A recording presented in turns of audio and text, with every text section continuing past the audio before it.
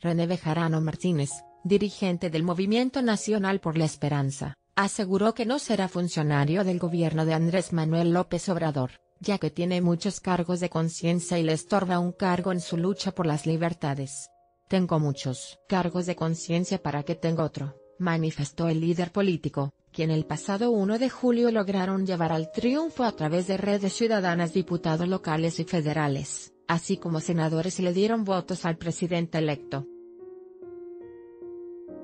El hombre, quien acusó de sufrir una conspiración mediática en un contra por ser mostrado de recibir dinero del empresario Carlos Ahumada, manifestó que no tiene interés ni necesidad de ser funcionario de ningún gobierno en México.